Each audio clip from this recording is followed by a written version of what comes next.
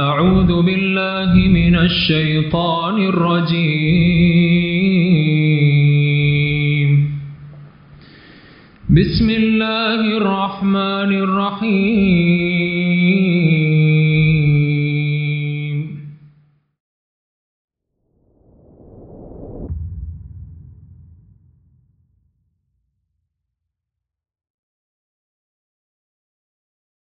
بسم الله الرحمن الرحيم. الحمد لله رب العالمين والصلاة والسلام على أشرف الأنبياء والمرسلين وعلى آله وأصحابه أجمعين ومن تبعهم بإحسان إلى يوم الدين أما بعد.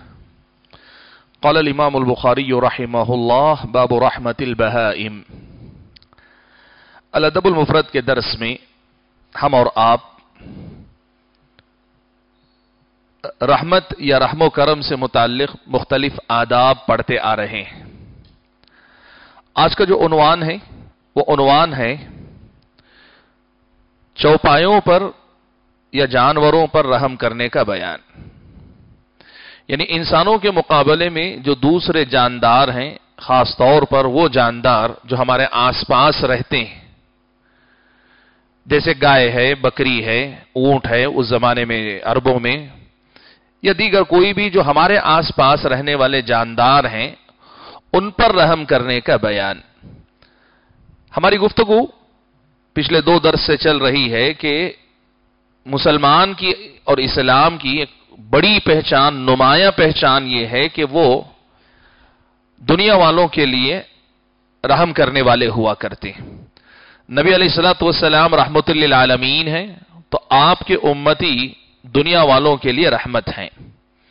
اس سلسلے میں گزشتہ درس ہم نے یہ سنا تھا کہ آدمی اپنے گھر والوں پر رحم کرے۔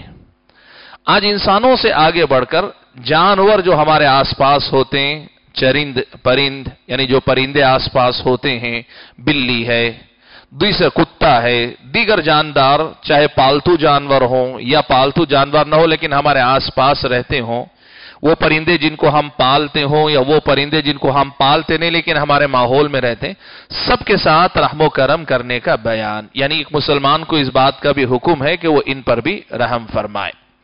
اس سلسلے میں امام بخاری رحمت اللہ علیہ نے کئی روایتیں نقل کی ہیں۔ ہم ایک ایک روایت پڑھیں گے اور اس کے بعد اس میں جو باتیں آئی ہیں، ان کو سمجھنے کی کوشش کرتے ہیں۔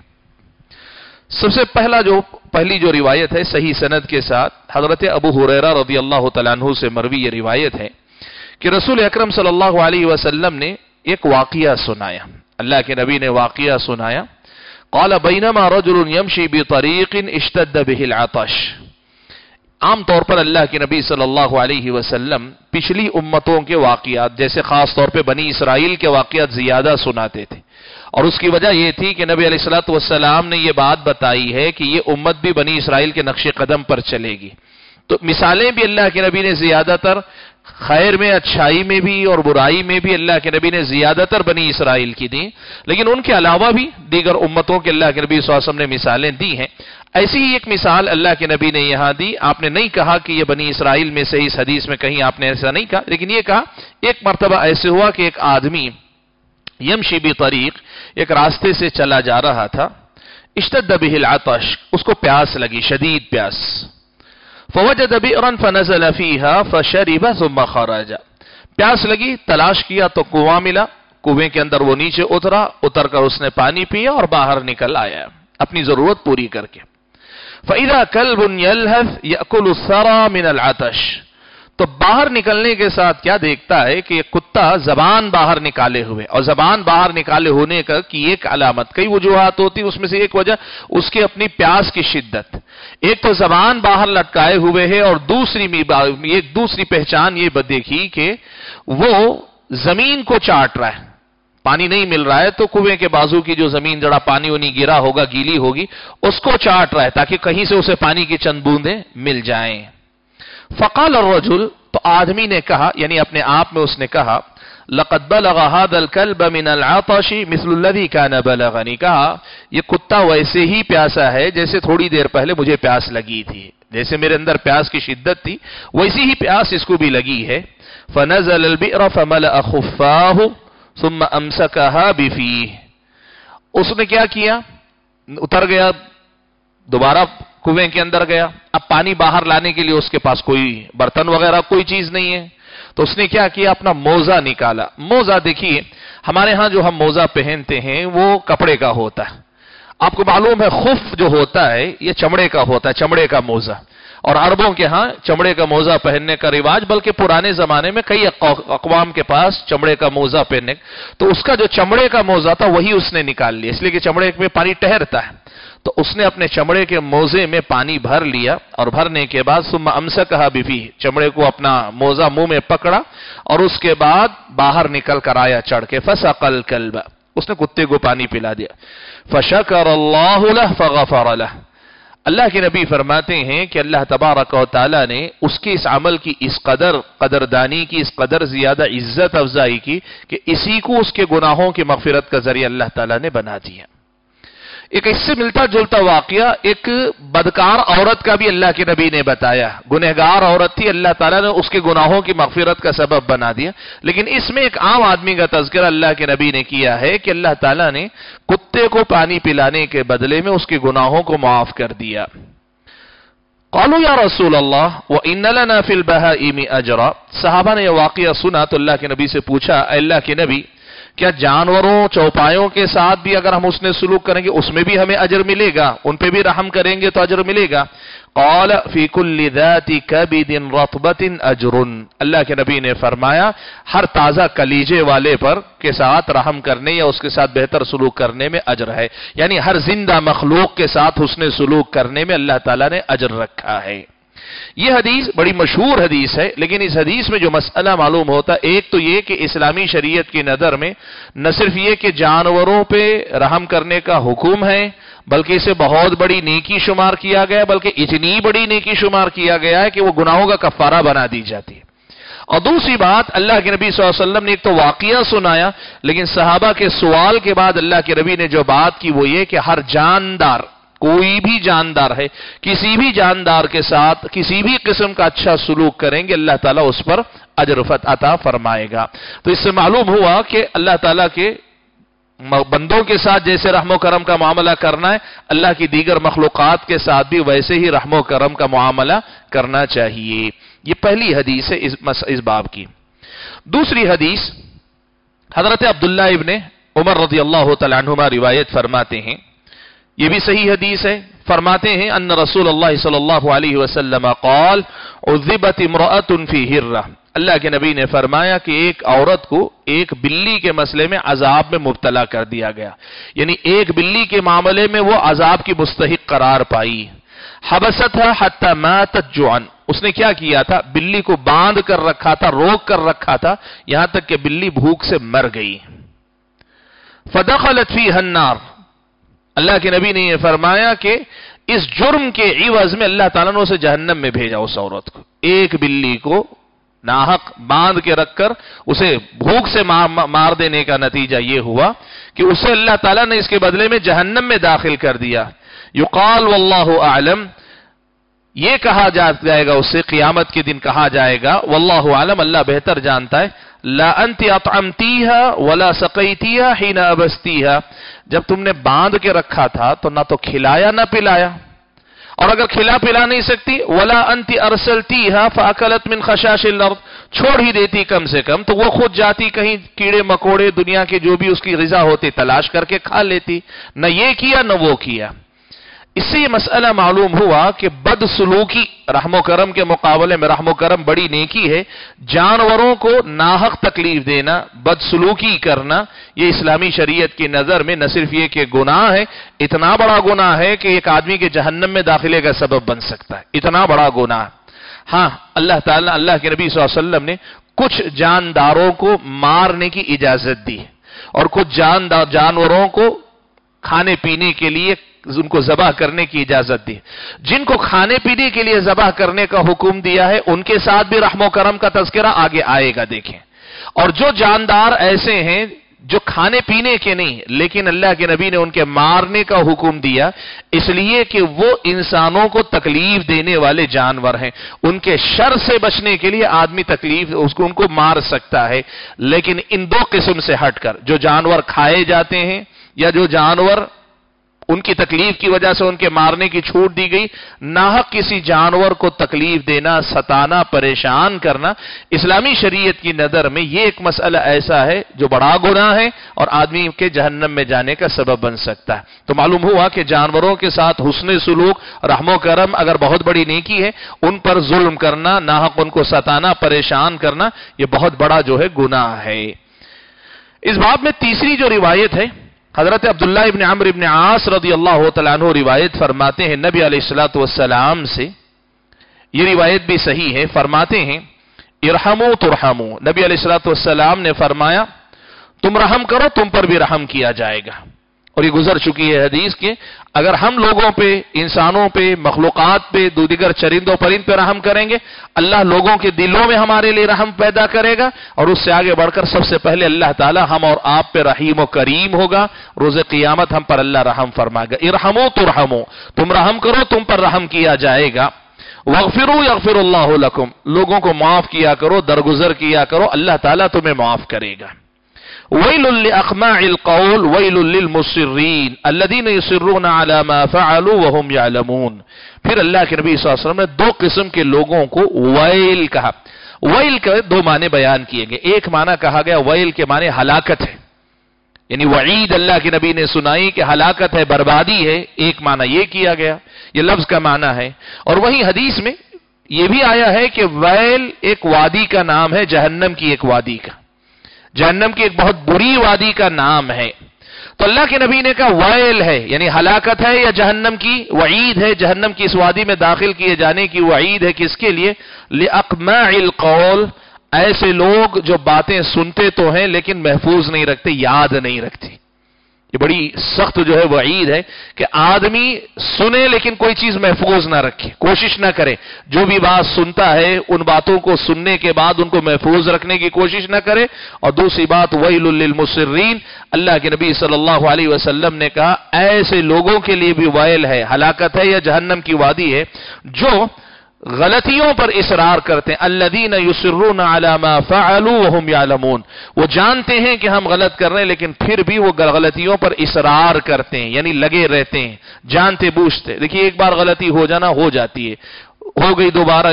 لیکن ایک آدمی ہمیشہ اصرار کرے، ہمیشہ اسی پر جمع رہے، تو اللہ کے ربی نے اس کے لیے ویل سنائی. العلم نے یہ بات لکھی ہے گناہ صغیرہ بھی، چھوٹا گناہ جو ہے، گناہ صغیرہ بھی اگر کوئی آدمی اس پہ اصرار کرتا ہے، بار بار وہی گناہ کر رہا ہے، وہ گناہ کبیرہ بن جاتا ہے۔ اور اگر وہی گناہ کبیرہ ہے اور گناہ کبیرہ پر آدمی بار بار اصرار کرتا ہے، تو پھر وہ وائل یعنی جہنم کا مستحق بن جاتا ہے۔ یہ جو ہے نبی علیہ السلاۃ والسلام نے بیان فرمایا۔ تو اس حدیث سے جو مسئلہ امام بخاری رحمۃ اللہ علیہ بیان کرنا چاہ رہے ہیں، وہ حدیث کا پہلا ٹکڑا۔ ارحمو تو تم انسانوں پر اور مخلوقات پر، چرندوں پرند پر، جانوروں پر، جانداروں پہ رحم کرو، تم پر رحم کیا جائے گا۔ چوتھی حدیث اس سلسلے میں جو ہم اور آپ کے سامنے ہے وہ حضرت ابو امامہ رضی اللہ تعالیٰ عنہ سے مروی ہے۔ امام بخاری نے اپنی سند سے روایت کیا۔ یہ حسن درجے کی روایت ہے۔ فرماتے ہیں کہ رسول اکرم صلی اللہ علیہ وسلم نے فرمایا، من رحم ولو ذبیحتا رحمہ اللہ یوم القیامہ جو آدمی رحم کرے، چاہے وہ رحم جس پہ کر رہا ہے، وہ ایک ذبح ہونے والا جانور ہے۔ ذبح ہونے والے جانور پر اگر رحم کرتا ہے، اللہ تعالیٰ ایسے بندے پر قیامت کے دن رحم کرتا ہے۔ میں نے آپ کو بتایا کہ ایک تو بہت سارے لوگ جانوروں پہ رحم کرنے کا مطلب یہ سمجھتے ہیں کہ جانوروں میں سے جو کھائے جانے والے جانور ہیں، ان کو ذبح ہی نہ کیا جائے، یہ رحم سمجھتے ہیں۔ نہیں، یہ رحم میں نہیں اللہ نے جو مخلوقات جس مقصد کے لیے پیدا کیے ان مقاصد کے لیے ان کا استعمال کرنا یہ رحم کے خلاف نہیں، یہ رحم و کرم کے خلاف نہیں۔ جن جانداروں، جانوروں کو اللہ تعالیٰ نے انسانوں کے کھانے کے لیے پیدا کیا ہے قرآن و سنت میں اس کی وضاحت، ان کو کاٹنا یا ان کو کھانا جو ہے، یہ رحم و کرم کے خلاف نہیں۔ اب اس کے بعد دوسری بات یہ ہے کہ اب جن جانوروں کو کھا رہا ہے، آدمی ذبح کر رہا ہے، ان کے ساتھ رحم کرنا۔ اب کوئی آدمی پوچھے، ذبح ہونے والے جانور کے ساتھ کیا رحم و کرم ہے؟ احادیث میں تفصیل آئی۔ جیسے اللہ کے نبی صلی اللہ علیہ وسلم نے کہا کہ جانور کی جو یہ چھری جو ہوتی ہے، پہلے سے تیز کر لو۔ اللہ کے نبی صلی اللہ علیہ وسلم نے کہا کہ جب ذبح کرو تو اچھے سے ذبح کرو، آدھا بیدہ کاٹ کے مت چھوڑو کہ جان نکلنے میں زیادہ وقت لگے، جانور کو جو ہے تکلیف ہو۔ اللہ کے نبی صلی اللہ علیہ وسلم نے یہ بھی کہا کہ ایک جانور کے سامنے دوسرے کو جانور مت کرو۔ تو یہ جو ساری تعلیمات ہیں، یہ اس جانور کے ساتھ بھی رحم کی تعلیمات ہیں جس جانور کو ذبح کیا جا رہا ہے۔ تو کہا من رحیم ولو ذبیحہ، جو آدمی جانور پر رحم کرے، چاہے وہ جانور جسے وہ ذبح کر رہا ہے زبیحے کے وقت بھی اگر ان پہ رحم کا مظاہرہ کرتا ہے، اللہ تعالیٰ ایسے بندے پر قیامت کے دن رحم و کرم فرمائے گا۔ یہ نبی علیہ السلاۃ والسلام نے فرمایا۔ معلوم یہ ہوا، جیسے میں نے بتایا، کہ ایک عام حکم یہ ہے کہ تمام جانوروں کے ساتھ رحم و کرم کا برتاؤ کرو اچھا سلوک کرو، ایک بات۔ دوسری بات، ان میں سے جو جانور ذبح ہونے والے جانور ہیں، ان جانوروں کے ساتھ رحم کا معاملہ ذبح کرنے کے وقت بھی، اس سے پہلے بھی کرنے کا اسلام نے ہم اور آپ کو حکم دیا۔ اور تیسری ایک بات، جن جانوروں کو تکلیف دہ ہونے کی وجہ سے ان کو مارنے کا حکم دیا گیا ہے، اس میں بھی یہ تاکید کی گئی ہے کہ ان کے ساتھ جو ہے تکلیف دے کر ان کو نہ مارا جائے۔ جتنی آسانی سے ان کو ختم کیا جا سکتا ہے، کر دیا جائے۔ جیسے آپ نے سنا ہوگا نا کہ اللہ کے نبی صلی اللہ علیہ وسلم نے وزغ چپکلی جسے ہم کہتے ہیں، ایک مار پہ مارنے پہ اللہ کے نبی نے نیکیوں کا وعدہ کیا، دو مار پہ کم نہیں کیا۔ اللہ کے نبی نے یعنی جتنی آسانی سے ان کو مار دیں، اتنا زیادہ بہتر ہے، اتنا زیادہ جو ہے اس کا اجر ہے، اسلامی شریعت نے بتایا۔ تو اسلامی شریعت کا یہ ہے کہ ہاں عام جانوروں کے ساتھ، سب کے ساتھ اچھا برتاؤ کرو۔ جن کو کھانے کے لیے اللہ نے پیدا کیا، ان کو ذبح کر سکتے ہو، یہ رحم کے خلاف نہیں، لیکن اس میں بھی رحم و کرم کا مظاہرہ کرو۔ اور جو جانور تکلیف دیوانے، تکلیف دینے والے ہیں، ایسے جانور یا کیڑے مکوڑے، ان کے مارنے کی اجازت ہے۔ اگر وہ تکلیف دے ہیں، لیکن ان کے مارنے میں بھی خیال رکھو کہ جتنی آسانی سے ختم کر دو، اتنا زیادہ اسلام کی نظر میں پسندیدہ اور بہتر عمل ہے۔ یہ پہلا باب ہے جس میں ہم اور آپ کو جانوروں کے ساتھ رحم و کرم کا ایک طریقہ بتایا گیا۔ قال البخاری رحمہ اللہ، باب اخذ البید من الحمورہ امام بخاری رحمت اللہ علیہ نے اگلا جو باب باندھا ہے، وہ باب یہ ہے کہ پرندہ جو پرندہ ہے اس کے انڈے اٹھا لینے کا بیان یعنی ایک پرندہ اگر جنگل میں اپنے گھونسلے میں انڈے دیا ہوا ہے، تو اس کے انڈے اگر کوئی لے آتا ہے تو اس کا حکم کیا ہے؟ پہلے ہم حدیث پڑھ لیتے ہیں، پھر اس کے بعد تفصیل آپ کے سامنے رکھوں گا۔ قال البخاری رحمہ اللہ، امام بخاری نے اپنی سند سے روایت کیا، صحیح حدیث ہے، کان عبداللہ ان النبی صلی اللہ علیہ وسلم نزل منزلا فاخذ رجل بيض حمرة. اللہ کے نبی صلی اللہ علیہ وسلم ایک جگہ آپ نے پڑاؤ ڈالا سفر میں، جنگل و بیابان میں۔ تو ایک صاحب گئے اور انہوں نے ایک پرندے کے انڈے اٹھا لیے۔ فجاءت ترف على رأس رسول اللہ صلی اللہ علیہ وسلم۔ اب وہ پرندہ سیدھے اللہ کے نبی کے سر پہ آیا اور پھڑ پھڑانے لگا۔ وہ پرندہ آ کے پھڑ پھڑانے لگا وہ اللہ کے نبی سے شکایت کر رہے فقال ایکم فجع هذه ببيضتها تو اللہ کے نبی نے پوچھا کس نے جو ہے اس کے انڈے لے کر اس کو تکلیف دی ہے؟ یعنی یہ شکایت کر رہی ہے، یہ چڑیا یا پرندہ شکایت کر رہا ہے، کس نے اس کے انڈے لے لیے ہیں؟ فقال رجل یا رسول اللہ، انا اخذت بیضتها تو آدمی نے کہا، اللہ کے رسول، میں نے اس کا انڈا لیا میں نے اس کا انڈا لیا فقال النبی صلی اللہ علیہ وسلم، اردد رحمت لها اللہ کے نبی صلی اللہ علیہ وسلم نے کہا کہ نہیں، اس کا انڈے واپس رکھ دو، واپس لوٹا دو، جا کے رکھ دو۔ رحمت لها اس پہ رحم کھاتے ہوئے اللہ کے نبی نے یہ بات کہی۔ مسئلہ کیا ہے؟ کیا کسی جنگلوں بیابان میں جو جانور ہوتے ہیں، ان کے چھوٹے بچے یا ان کے اپنے انڈے وغیرہ یہ اٹھائے جا سکتے ہیں کہ نہیں اٹھائے جا سکتے ہیں؟ تو صحیح مسئلہ اس میں یہ ہے کہ یہ اٹھایا جا سکتا ہے، جائز ہے۔ لیکن اٹھا کر لانے والے کو اس کی ضرورتوں کا خیال رکھنا چاہیے۔ جیسے ابھی اگلا باب آئے گا ہمارے سامنے۔ اگلا مسئلہ آئے گا جس سے اس بات کی تائید ہوتی ہے۔ البتہ اللہ کے نبی نے یہاں واپس لوٹانے کا حکم کیوں دیا؟ اس لیے کہ وہ جو پرندہ تھا، وہ اللہ کے نبی کے پاس شکایت لے کر پہنچا۔ اب اللہ کے نبی صلی اللہ علیہ وسلم نے رحمت کے طور پہ، رحم کے طور پہ کہا، اس کو اس کو لوٹا دو۔ اب صحابی کو بھی کوئی ضرورت نہیں تھی۔ جنگل میں جا رہے تھے، دیکھا کوئی پرندے کے انڈے ہیں، اٹھا لیا۔ ایسا نہیں تھا کہ ان کی اپنی کوئی ضرورت ہے، جیسے کھانے کے لیے آدمی لے لے، یا لے کے پال پوس کر بڑا کرنے کے لیے لے لے۔ دیکھا، جیسے جاتے جاتے آپ بھی دیکھتے ہیں، کہیں کوئی پرندہ ملا تو آدمی اٹھا کر لے آتا ہے۔ ویسے ہی انہوں نے کیا تھا۔ اور دوسری طرف یہ کہ پرندے نے خود آ کر اللہ کے نبی کے سر پہ پھڑ پڑاتے ہوئے شکایت کی، اپنے پر حرکت دیتے ہوئے۔ تو اللہ کے نبی صلی اللہ علیہ وسلم نے اس پہ رحم کھاتے ہوئے لوٹا دینے کا حکم دیا۔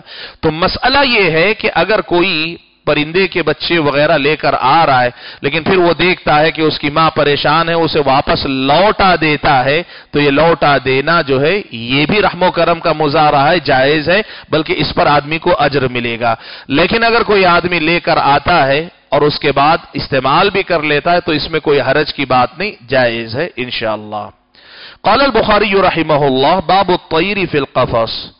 اگلا باب امام بخاری رحمت اللہ علیہ نے باندھا، وہ باب یہ ہے کہ باب پرندے کو پنجرے میں قید کرنے کا حکم۔ پرندے کو پنجرے میں قید کرنے کا حکم۔